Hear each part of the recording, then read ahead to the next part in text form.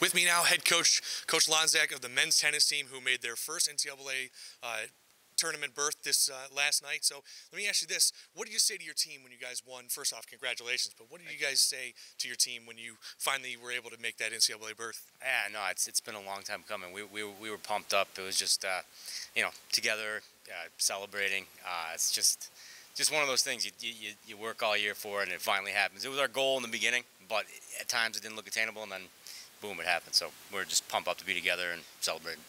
Well, this is a team that has progressively gotten better over the last three years and has worked up until this point. So, can you speak a little bit about your seniors, especially Hallam and Jason, and what they've meant to the success of this program? Yeah, I mean, those two captains, they, they do things differently. Hallam is like the checks and balances guy. Everything that goes on within the program, he's making sure it's going properly. Jason is more, you know, internal with the guys, um, making sure they're doing their job right.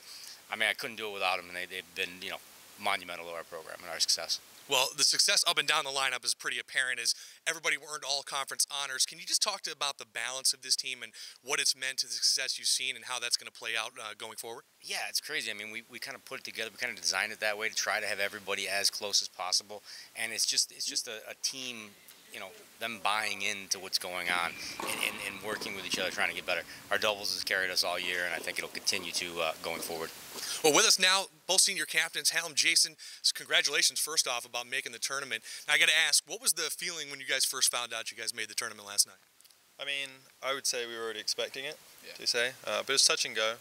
Um, to be fair, I was pretty honoured. First time in Le Moyne history. Yeah. Um, it was good. I think we deserved it. It's a good season. I think you'd agree, Jason. Yeah, I mean, we, we really had no idea. I mean, being the sixth spot, you know, it was real, real hit or miss there, but we're just happy that we're in.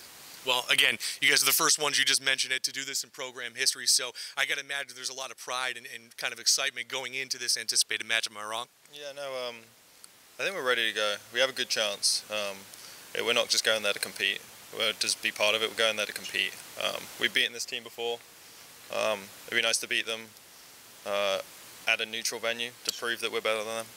Um, yeah, I'm just excited. Yeah, it was, it was, a close match. Definitely, uh, tempers were flaring a little bit in that match, so uh, I, th I, think it's going to be good for us to, to play them somewhere and show them that you know we're we're a team and we're here to compete. Well, we talked to coach a little bit about this, and you know the entire team made all conference honors, which that's impressive to say the very least. But what is it about the chemistry of this team that really kind of me- meshes well and has gotten you to this point? I mean, I think it's the it's the first real year since we've been here that we've been a, a complete team. Uh, everyone's working together the whole time.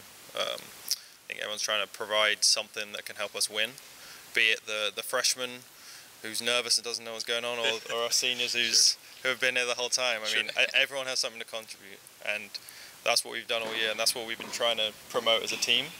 I think that's I think it's been obviously successful. Jason. Yeah, I think we just spent so much time together. Uh, so you know, it's it's just been you know, it's like we're all brothers together and we're in this. So it's just that's that close knit uh, that close knit feeling, I guess, that's really brought us through this whole way. Well, you guys can definitely tell as far as the close knit because that's what really has brought you the success this year and everything. Now, looking ahead into the actual uh, matchup here with you know New York IT, and I know you said you had a bit of a uh, a tough matchup against them last time, but what is it you guys are expecting or looking forward to out of yourselves as far as bringing competing? I mean, I'm just excited.